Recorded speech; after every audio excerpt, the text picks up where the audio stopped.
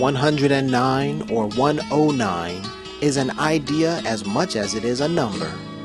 I call it 109. To understand 109, it takes a creative mind willing to explore numerology, psychology, history, philosophy, and statistics. iSee 109 explores the mysterious interpretations of this number from a myriad of perspectives.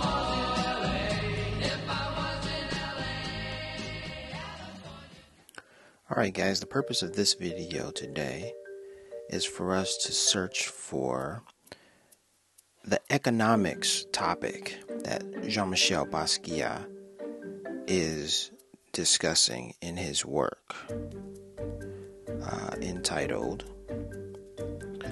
All Colored Cast. My phone is taking extremely long Perhaps that's because the Wi Fi in my neighborhood is atrocious. Jeez. Use cellular data, yeah. Keep trying Wi Fi. No, we're gonna get rid of this Wi Fi. Just gonna turn that off. Jeez, you see how slow that was? And there we go. That's exactly what I'm looking for some results on Basquiat. Alright, so today's topic is all colored cast is at the top because it's a frequent search for me. And here we have the painting. Let's pull it up. It's loading. All right, there it is. We've seen this one before. All Colored Cast by Jean Michel Basquiat, painted in 1982. All right, so I want to call your attention to this section right over here where Jean Michel has uh, conspicuously written two countries, the name China and Haiti. All right. So the question then becomes, what's Jean Michel saying? When I saw these uh, these names as well as these lines between them, these arrows, um, I concluded that Jean Michel was referring to. Uh, here's Elon Musk tweeting. Get out of here, please. Thank you. All right. Um, I, I, I, I arrived at the conclusion that Jean Michel was talking about um, the trade imbalance between uh, China and Haiti, saying that Haiti uh, exports more than they import from China. I mean, this is just what I uh, guessed. This is just my this is just conjecture, but I want to find out if there is any truth to that, what I what I believe, or if there is any um, if there's any other evidence that you know I should actually focus on.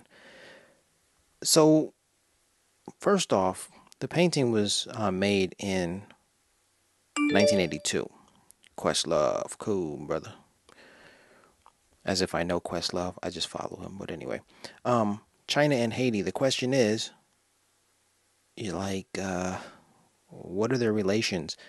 Not only today, in 2022, but also in the past, because the painting was created in 1982. So the question is, what was going on in 1982? All right. So, first off, from 2022, today's news says China may seek greater role in Haiti as UN Security Council extends political mission. All right. There we have one. We have another st- um, story here. China pushes UN to ban small arms to Haiti amid gang violence. Hmm. So there's been some gang violence in Haiti, and China pushes the UN to ban arms. Don't give the the Haitians arms. That's an interesting and also a positive sort of uh, stance. Don't give them any more arms. They're killing each other. That's good. Versus, we don't care what happens. Hmm, that's interesting. Hmm. But I'm looking in particular uh, with relation with uh, in, with uh, I'm looking for information related to trade between China and Haiti. A coordinated effort for Haiti is proposed to China by the U.S. Let's see. Finally, Haitians look to China and Russia to end UN mandate, renewed more for more for one more year. All right. So the news today's news is um, is today's news focuses on um, the arms, this arms embargo. Okay? All right, now let's see if there's any information about the 1980s China and Haiti relations. We have Chinese Haitians that pops up, the untold story of Chinese Haitians. Haiti and the United States during the 1980s and 1990s. This looks like a very good article.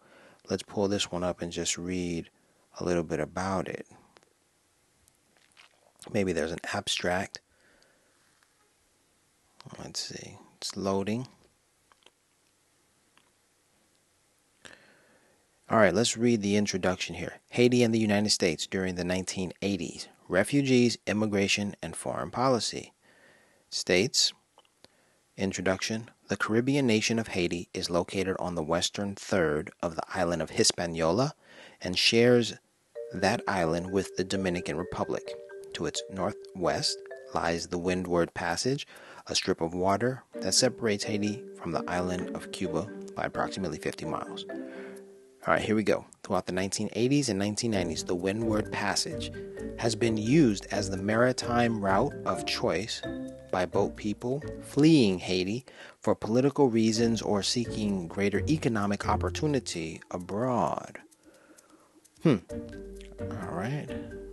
I'll read one more paragraph. Hopefully, that will mention China. Just perusing this paragraph, I do not see China anywhere. However, that paragraph mentions uh, greater economic opportunity abroad. So let's just go with that, okay? Haitians are fleeing Haiti. Let's go with that. And we we know this, we've heard it, we've seen it in the news, and that being the case, no, let's go back to the Jean-Michel Basquiat uh, painting.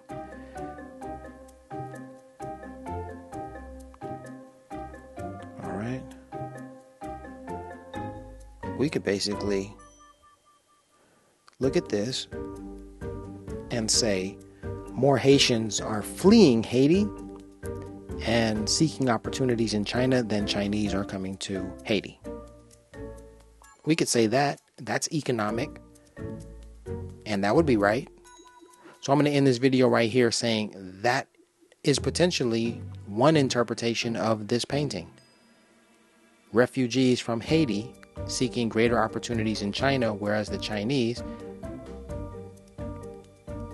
aren't all right, this has been another iSee 109 uh, broadcast. Peace and blessings. Kobe, legends never die, so let them know. You're at 109 right now.